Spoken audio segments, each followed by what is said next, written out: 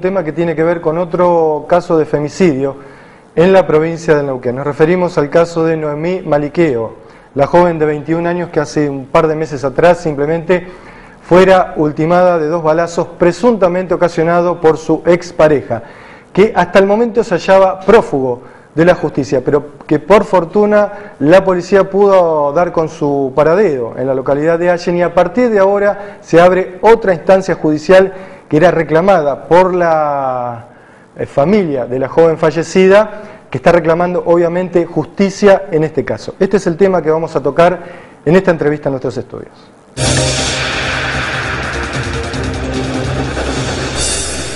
Y para hablar de este tema tenemos la presencia nuevamente aquí en nuestros estudios de la doctora Gisela Moreira, que ha sido la abogada de la familia, la abogada querellante en este caso, gracias por estar nuevamente con nosotros, y también la visita de Patricia Jure, que ya la conocemos por otras actividades anteriores, pero que también forma parte de la organización de mujeres que ha estado apoyando todo este proceso. Gracias Patricia por estar aquí. Gracias a ustedes. Bueno, doctora, hubieron novedades eh, importantes en el caso y, bueno, alentadoras, si se quiere, de alguna manera, para la familia que estaba pidiendo justicia. Sí, justamente el día viernes pasado encontraron a Valdés en alrededores de la ciudad de Allen, en una zona rural, lograron atraparlo y inmediatamente eh, el día sábado a las a las 13 horas fue la audiencia de formulación de cargos en donde nosotros como parte querellante pedimos eh, la acusación por homicidio calificado por el vínculo y por violencia de género, esto es por femicidio, y además eh, pedimos una prisión preventiva por el término de cuatro meses eh, hasta que se desarrolle el juicio. ¿no? Vamos a recordar cómo fue un poco el caso, por qué me decís que apareció Valdés de repente en Allen, ¿no? Sí, bueno, Valdés estaba prófugo por el crimen sucedido el día 20 de septiembre eh, el 20 de septiembre, eh, el asesinato de Nomi Maliqueo es el principal sospechoso, el principal acusado a este momento en virtud de todos los testimonios y las pruebas que hemos obtenido durante todo el expediente. Eh, y bueno, se encontraba prófugo y nosotros, eh, tras muchas insistencias, tanto en la Fiscalía, de hecho habíamos, nos habíamos reunido con el ministro Gastamisa el día, la semana pasada. ¿Habían tenido respuesta de esas reuniones ustedes? Eh, habíamos tenido un compromiso de parte del ministro Gastamisa del pedido de recompensa. Esa era una de las cosas, porque ya habían pasado dos meses y no había mucho avance en el expediente, por así decirlo. Entonces, una de las formas como para que eh, aumentar la investigación y la, presión fue pedir el pedido de recompensa que iba a salir el día lunes pasado, pero bueno, Valdés lograron atrapar el día viernes. ¿Cómo, cómo aparece Valdés? Al parecer, por lo que nos dice la policía, es por interceptación telefónica de un llamado que él le hace a la hija eh, y bueno, ahí localizan el teléfono y bueno, se disponen la búsqueda en, la ciudad de Allen. Ustedes tenían sus serias dudas si alguien lo estaba apañando porque no, no podía ser que se, hubiera hecho humo de la mañana a la noche en la región, ¿no? Sí, nosotros teníamos duda de que alguien lo estuviera asistiendo en algún punto. Él se encontraba de todas maneras en las cercanías de la zona donde sucedió el hecho, en la toma, y eh, luego se traslada a la ciudad de Allen. Y estaba por trasladarse a Buenos Aires, tenía una mochila preparada y se estaba bueno por ir a Buenos fue justito que Exactamente, y tenía varios celulares en, su poder en ese momento, por ende usaba distintos chips de celulares, distintos celulares, por ende quizás también era tan difícil encontrarlo en, función de eso, ¿no? ¿Cómo reaccionó la familia de Noemí cuando se enteraron de esto? Eh, la familia reaccionó con un, bueno, en algún punto era lo que estaban pidiendo, pero con mucho temor a que vuelva a escaparse de nuevo, ¿no? Eh, por eso inmediatamente nosotros por eso pedimos la prisión preventiva en función de, todos estos antecedentes que tenía Valdés, en función de que eh, tenía cuatro identidades distintas, eh, ya se había profugado de la ciudad de Roca en una oportunidad cuando tenía una causa por robo calificado que ahora está prescripta ya, entonces era inminente que esa prisión salga. Bueno, el juez nos las otorgó teniendo en cuenta toda esta situación también y también teniendo en cuenta que al temor o al, peligro que puede estar suscente a la familia y la principal testigo, ¿no? que es la que aporta los datos necesarios como para que esta persona hoy esté acusada también. ¿Y el juicio cuándo empezaría? No tenemos fecha todavía porque falta una audiencia más, que es la audiencia de elevación a juicio. Eh, seguramente va a ser el año que viene, ¿sí? en función de que ya estamos casi cerca de diciembre y a fin de año y ya el 24 Eh, es el 24, bueno, ya casi, ya no hay actividad judicial. Así Pero por lo menos la tranquilidad que tiene una, una prisión preventiva. Sí, tiene una prisión preventiva y, a más tardar tienen cuatro meses para dar el juicio. Así que lo más probable es que sea entre febrero, marzo o abril. Patricia, qué importante es que eh, las mujeres a lo largo de todo este tiempo eh, se hayan concientizado, se hayan organizado para acompañar este tipo de procesos, porque a veces la, la propia mujer o la propia familia afectada se siente sola ¿no? ante esta situación. Sí, lo decía el papá de Noemí, lo recuerdo en uno de los actos, decía, no hay justicia para los trabajadores. Nosotros nos levantamos a las 5 de la mañana para ir a trabajar y volvemos a las 9 de la noche a nuestra casa y para nosotros no hay justicia. Y la comprensión de que es necesaria la movilización, porque lo que se ha obtenido hasta ahora, eh, bueno, por supuesto con una excelente intervención de Gisela en el caso, acoplándonos en una movilización que nos llevó a tener que ir a todas las comisarías el día previo a que apareciera Valdés, habíamos decidido nosotras ir a hacer a las comisarías la pegatina de la fotografía que no estaba haciendo el Estado, eso lo estábamos reclamando a Gastaminza, porque alguien que busca a otro tiene que mostrar que lo está buscando. Entonces, no había ni en los medios, ni en los aeropuertos, ni en los, ni en los este, televisores que hay en, en los lugares de salida y entrada de una localidad, eh, ninguna, ningún indicio de búsqueda por parte de la justicia. Lo hicimos nosotras. Lo hicimos con el plenario de trabajadoras, lo hicimos con la intervención de la diputada Gabriela Supisic, de todas las organizaciones que se movilizaron desde el primer día eh, para que, en primer lugar, obtener esto que es una victoria muy importante. Y lo dijo la mamá de Noemí eh, sin ningún tipo de dudas. Lo logramos nosotros. Nosotros nos movilizamos y conseguimos con esta presión, nos tuvimos que reunir con el ministro, tuvimos que hacer todo esto para que apareciera Valdés. Y todo indica que ya se sabía dónde estaba Valdés. Porque si los vecinos mismos te dan datos y te dicen, estaba acá en la toma, de acá se fue allá, si se puede saber, digamos, de manera artesanal. Exacto. ¿Por qué no profesional? Teniendo, incluso este gobierno, una experiencia en espionaje contra los luchadores en esta provincia, te pinchan los teléfonos, un montón de cosas. A Valdés parece que costó un poquito más. Todo el prontuario de Valdés, bueno, lo, señala como un protegido, no hay un narco eh, que pueda manejarse así nomás solo. Eh. Él se profugó, él se fue eh, de la cárcel en donde estaba y esa posibilidad le permitió llegar a la vida de Noemí. Y después se la quitó. Entonces, ahora con Valdés preso, nosotros tenemos una gran campaña por delante, por la perpetua, para que el asesino de, de esta chica de 21 años, estudiante, este, vaya preso y para que todas las otras causas, porque aquí se ha puesto de manifiesta la responsabilidad del Estado en este problema. El, caso de Noemí es como un caso que cierra todo el círculo. Aquí hay ya cinco femicidios en este año en la provincia. Laura, Lorena, Silvia, Gladys, dos de San Martín de los Andes, uno de Cenillosa, otro en Centenario. De los cinco femicidas, Valdés es el único, hay tres que se suicidaron y uno que está agonizando Valdés, el único libre, lo logramos atrapar. Es importantísimo. Muy importante. ¿Qué pasó con los proyectos que se presentaron a la legislatura por parte del partido que voy a integrar? Bueno, hace tres años existen dos, dos leyes. La 2785, que es un observatorio de violencia hacia las mujeres, que debería ser el que nos da los datos de la realidad, no solamente de los casos de femicidio, que es el último eslabón y nos enteramos todos cuando una mujer es asesinada, sino la otra situación de violencia que seguramente cuando llega el momento de la muerte han pasado años previos de violencia en el hogar, psicológica, física, económica, etcétera.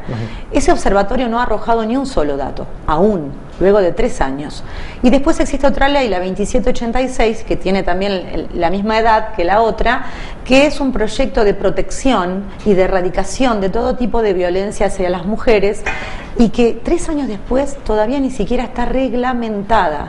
Otra, otro indicio de por qué, otra prueba de por qué el Estado es responsable de los femicidios y de la violencia hacia las mujeres.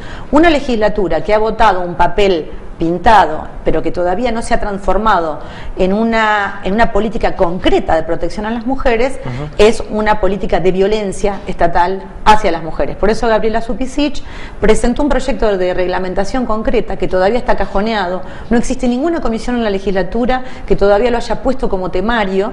Y además hemos presentado un proyecto para la constitución de casas refugio para que las mujeres tengan un lugar donde ser protegidas, una cada 20.000 personas, que tengan equipos interdisciplinarios con trabajadores bajo convenio, que puedan asistir a las mujeres, que las mujeres logren frente a la situación de violencia, poder independizarse financiera, económicamente también, porque muchas de las eh, condiciones de vulnerabilidad que tenemos las mujeres es el problema de la independencia económica. Entonces, que las mujeres tengamos la posibilidad de tener un subsidio, una emergencia, hasta tanto se pueda tener una situación laboral estable, para poder atender el problema de, eh, de la familia, de los hijos que están a cargo. Y una serie más de de condiciones para que esto realmente se pueda concretar y proteger a las mujeres frente al tema de violencia. Estamos esperando, nuestras movilizaciones apoyan eso, hemos hecho una audiencia en la legislatura, la familia de Noemí y otros casos de violencia, la compañera Jessica, una docente que también está sufriendo y denunciando una situación de violencia, otros casos que se han presentado, también este, están apoyando firmemente el proyecto. Bueno, Gabriela termina su mandato ahora el 10 de diciembre, tomaré la posta para defender eh, la concreción y la votación de ese proyecto. Doctora, eh, bueno, ella hablaba de otros casos también que todavía estaban por resolver, en donde los autores del homicidio o habían tenido intentos de suicidio se habían suicidado. En el caso de que el caso que nos ocupa de Valdés también intentó suicidarse. Sí, también intentó suicidarse el día de ayer. Hoy está internado en el Hospital Castro Rendón. Eh, bueno, a la espera de que se mejore en algún punto para volver a, hacer, a la unidad de detención que está detenido en la U11. ¿Eso puede ser algún, algún problema para el avance judicial? Y en algún punto es un problema en el sentido de que él se intente escapar en el hospital, ¿no? Por eso garantizamos también, yo estuve charlando con la fiscal para que garantice una seguridad extrema, eh, teniendo en cuenta el caso concreto que es una persona que puede llegar a hacer eso como para poder evadirse ¿no? nuevamente. Y, si se escapa nuevamente va a ser muy complejo poder encontrarlo. Eh, Así que en ese hay que tener mucho cuidado. Hay que tener mucho cuidado, sí, sí, en ese sentido sí. Por eso eh, estamos en contacto con la fiscal todo el tiempo como para asegurarnos de que esa situación sea esa, ¿no? de que esté detenida ahí. En su caso, más allá de la tarea profesional que usted hace, ¿cómo mujer le llega de otra manera este tipo de hechos? Sí, como mujer obviamente, porque además entendemos que hay una, una doble opresión de la mujer, ¿no? Y justamente eh, en, la, oportunidad de la audiencia yo expresé justamente esa opresión que se vive de la mujer y esa violencia que se vive en forma clandestina y que por ahí las mujeres no alcanzan a hacer una denuncia. Y esto es muy importante porque Noemí era una chica de 21 años en la cual que estaba con una persona de 45 que puede llegar a demostrar una relación de poder que había ahí, eh, si bien ella no lo expresaba a través de denuncias policiales, pero eh, se notaba que existía una opresión bastante importante. Y eso es lo que muchas mujeres hoy padecen y que a través del nuevo fenómeno de la expresión del ni una menos han podido salir a las calles a, combatir este tipo de violencia y a empezar a frenarla antes de tiempo. ¿no? Aún los dispositivos judiciales e institucionales no son los, los más adecuados y los más efectivos, por así decirlo, porque siguen habiendo muchas fallas. Eh, por eso la salida también está en la movilización popular y en encontrarse con otras compañeras que hoy padecen lo mismo. Patricia, la, movilización del miércoles eh, es una muestra ¿no? pequeña de lo que está ocurriendo en todo el país. Sí, y se transformó en una necesidad. Si bien todos los 25 de noviembre eh, es una marcha que recorre todo el país, las características esta vez han sido como el reclamo que, que luego del 3 de junio semejante movilización popular y no, hubo, no, hubo ni una acción gubernamental en función de eso, a pesar de que como estaban todos en campaña electoral, todos los funcionarios, incluso los cómplices de los femicidas, se ponían un cartelito que decía ni una menos. Eso, eso es una violencia brutal contra las mujeres, ponerse un cartelito para la tribuna y después teniendo el poder de decidir una política concreta de protección a las mujeres no se lleve adelante. ¿Por qué crees que ocurre eso? Porque yo creo que no es una, una medida que políticamente te pueda afectar, ponerle un partido que presenta algo así, como en este caso lo que sucede en Neuquén, te puede afectar políticamente al gobierno, sino que es una cuestión de Estado de la sociedad, donde todos prácticamente están de acuerdo. Entonces, ¿por qué no se implementan ese tipo de medidas? Porque el régimen social en el que vivimos, a través de su Estado, necesita eh, domesticar, necesita disciplinar a, la clase social que sostiene el país, a los trabajadores. Y un método de disciplinamiento fundamental es disciplinar a las mujeres disciplinar a sus hijos, disciplinar a las familias como tales. Pero un femicidio puede ocurrir en cualquier clase social, no solo de trabajadoras, sino de... ah, por supuesto, pero vos fijate los casos de femicidio en la provincia de Neuquén. Cinco mujeres trabajadoras. El otro día leía un artículo en donde el ministro Gastaminza decía que el 50% de los femicidios se efectúan con armas de fuego. Sí, bueno, tendría que tragarse su palabra, porque estamos hablando del 50% de armas que vienen de las fuerzas policiales, que, de la que él es responsable. O sea, las armas vienen del lado de ustedes, muchachos. Esta es la realidad. Entonces, un Estado represor que eh, toma a las mujeres también de esta manera, digamos, son mujeres trabajadoras, esa doble opresión que decía Gisela recién, obviamente que están doblemente expuestas y doblemente vulnerables. Eh, y los casos de femicidio, solamente con este estado de movilización es un esfuerzo enorme el que está haciendo la familia de Noemí y las organizaciones que estamos interviniendo. Vos imagínate, nosotros, voy a contar algo que es doméstico, hemos hecho venta de pollos para poder hacer nosotras el afiche con la cara del asesino que después fue pegado en los hospitales, en las escuelas, en los barrios, en las comisarías. Como tendría que haber sido una obligación absoluta, indelegable y, rápida del Estado, ¿no? Así es. Mm. Por eso, con esta victoria tenemos que seguir, tenemos un objetivo concreto, que es el objetivo de que se haga el juicio, como decía Gisela, y que ese juicio obtenga el resultado necesario para que se haga justicia, justicia, que es que Valdés vaya preso en perpetua. Entiendo tu idea de victoria, pero creo que la victoria más importante sería llegar a un punto en que la mujer no tenga que pagar las consecuencias. y esa es la experiencia que estamos haciendo, mm. porque fíjate vos, la familia lo, lo, planteaba la vez pasada y lo plantean muchas familias que se encuentran con esta situación. Nunca nos esperábamos encontrarnos en este problema. Y nunca me imaginé que me iba a tener que movilizar, decía la mamá. Pero yo me voy a movilizar hasta las últimas consecuencias y voy a luchar para esto. La experiencia dolorosa que estamos haciendo aunque no sean nuestros familiares, eh, es una experiencia dolorosísima, porque además es disciplinadora, de que nos puede pasar a cualquiera de nosotras, es una experiencia política muy rica, porque el tema de la responsabilidad del Estado se comienza a comprender en cada uno de los pasos que vamos dando, cuando vemos el papel que juega la fiscal, el papel que juega la policía, el papel que juega el ministro de Seguridad y el papel que jugamos las organizaciones independientes de todos ellos.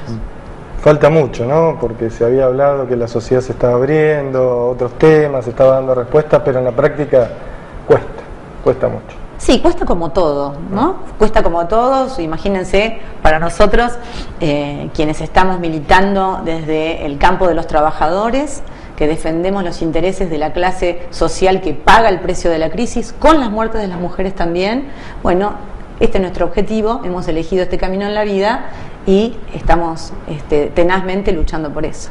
Doctora Moreira, Patricia Jure, muchísimas gracias, por haber estado con nosotros y vamos a seguir de cerca todo este proceso, ¿no? Para ver si realmente se completa como, como se debe y que no pase nada raro. Porque tanto que costó hallar al culpable, espero que no se escape por ahí. Ojalá que no. Por las ramas, ¿no? Muchísimas gracias. Gracias. Gracias a vos.